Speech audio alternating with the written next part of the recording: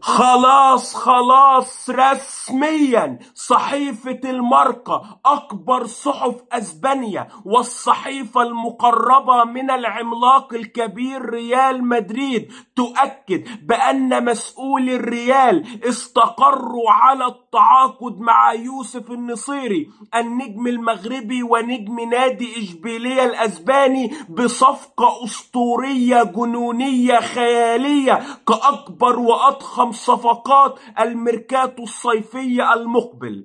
ولكن قبل الدخول في التفاصيل لو كنت من عشاق ومحبي النجوم المغاربة والمنتخب المغربي أتمنى تدعمني وتشرفني ب like للفيديو والاشتراك في القناة وتفعيل زر الجرس حتى يصلك كل الجديد خلال الفترة القادمة. صحيفة الماركة أكدت بأن كارلو أنشيلوتي المدرب الإيطالي المخضرم لريال مدريد معجب جدا بيوسف النصيري وأبلغ إدارة الريال بهذا الأمر وفورا إدارة الريال تقرر التعاقد مع يوسف النصيري وتقدم عرض خيالي يفوق السبعين مليون يورو لإشبيلية للتعاقد مع الوحش المغربي.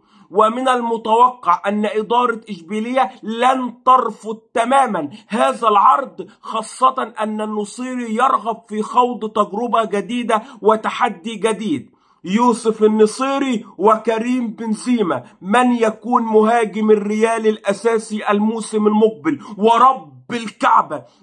ليس نفاقا أو تطبيلا ولكن النصيري أفضل من بنزيما يستحق بلا أي شك وبلا أي نقاش أن يكون مهاجم الريال الأساسي.